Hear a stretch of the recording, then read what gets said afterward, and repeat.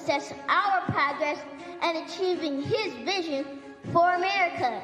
The heart of the people is the heartbeat of the country. I feel like we're taking baby steps towards success when we should be taking giant leaps.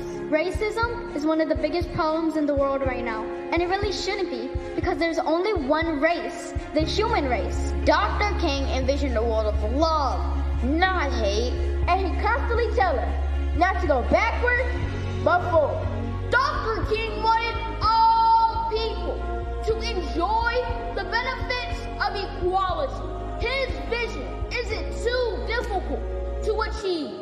Do you agree? He fought for equality for all and he fought for justice. He stood for kindness, respect, and helping other people to learn not to be disrespectful. He makes me think that if someone else is getting treated wrong or bullied, I could stand up for them. Although I believe that we haven't yet achieved Dr. King's vision, I do believe that the vision is not lost. In the future, I believe we can accomplish Dr. King's dream, my dream, our dream. So, my brothers and sisters, I ask each of you, at the sound of my voice, let's come together, use our power, and work to make Dr. King's dream a reality for today, tomorrow, and forever. If one man can make such an impact on this world, imagine if we are all open to change.